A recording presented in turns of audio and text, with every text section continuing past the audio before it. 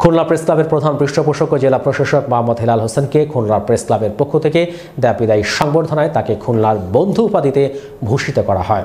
স্বাস্থ্য বিধি মেনে বুধবার দুপুরে খুলনা প্রেস ক্লাবের হুমায়ুন কবির বালু মিলনায়তনে অনুষ্ঠিত বিদায়ী সংবর্ধনা অনুষ্ঠানে সভাপতিত্ব করেন খুলনা প্রেস ক্লাবের সভাপতি এস এম জাহিদ হোসেন।